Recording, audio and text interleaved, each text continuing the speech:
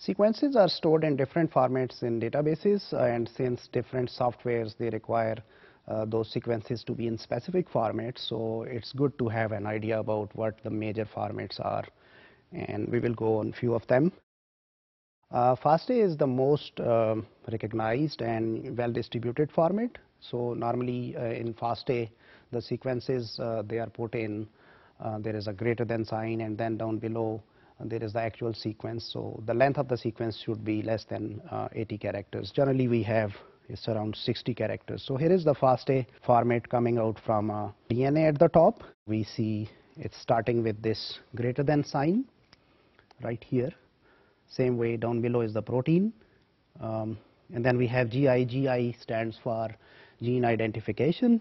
Obviously, this is the ID of this gene, and then there is something written as C. So C is uh, it's coming from actually the complementary strands, and the regions from which it's coming are designated here. Uh, the base positions uh, in between them this gene is located. So, and then there is a short description that it's coming from Homo sapiens uh, man chromosome 17. This is the assembly, primary assembly. So assembly is where we can get uh, short sequence reads or small sequences and we put them together into a gene. So that thing is called as assembly. So it's the primary assembly. So then here is the actual sequence that starts. So it's around 60 base pairs in each line. And since this sequence was very big, so I put those dash in the end. We can also see a protein sequence over here down below. Same way we have the ID and it's a reference sequence. So reference sequences are the ones which are the curated sequences. There is a, a subsection in NCBI called as RefSeq so that actually puts those references kind of standard sequences in order to avoid redundancies. So we can say these are the primary or the main sequences. We might have other alternative splice variants, uh, but references are kind of true representative of the class. Then we have this ID, again right here the protein ID. Then we have its description, its cellular tumor antigen protein, P53 isoform, and then we put its sequence. So I excluded some part of it, so those dashes are there. So sometimes um, FASTA files they end up with this star signs, sometimes they don't. So it's important that the software must know that what star means here. So GenBank is uh, the, the format which is there in the GenBank database. So that's a kind of a standard format. Um, the other formats are pretty similar to it. In GenBank, the records, they start with word locus, and then we have some description lines. Uh, the sequences, they start with the word origin as we have seen previous uh, in previous sections. And um, sequences, they end up with those double slash signs.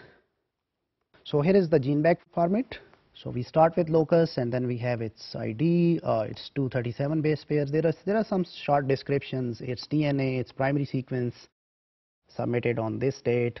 Then we have a definition line uh, where we can have some descriptions, some explanations about this gene.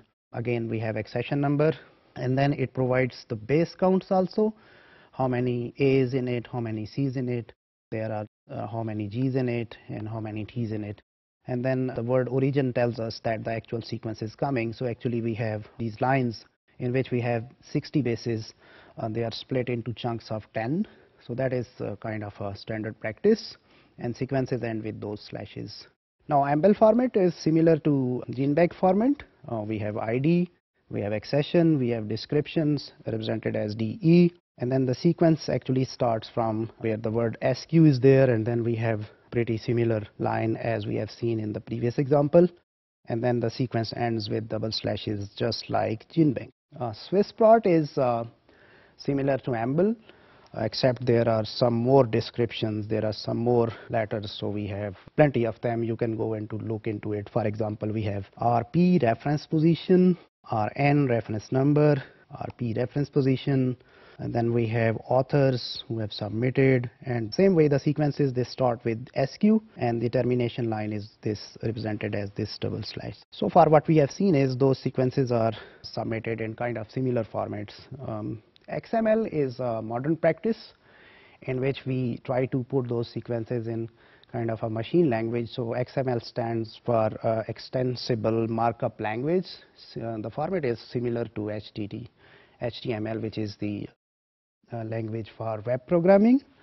Um, the, the good part is that this language is in between uh, machine and man readable. So it's kind of easy to code over this. So that is seems like pretty weird, but not weird for the people with a computer science background. So it's kind of this format.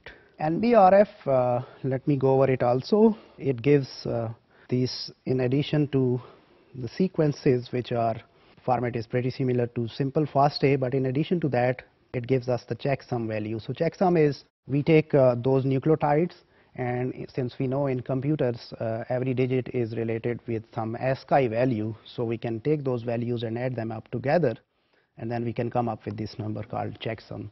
So that is good to uh, put there and once somebody is downloading the sequence, he can again check on his computer and find the checksum if they are they are they are equivalent to one another if they are equal to one another means the sequence is uh, correctly downloaded otherwise there must be some issues with the downloading GCG stands for Genetics Computer Group. So basically it's a group of scientists who are helping the biological community to develop the softwares and training programs to help with the biological sequence analysis problems. So there's uh, also came up with those formats, sequence formats, which are kind of similar to the previous one.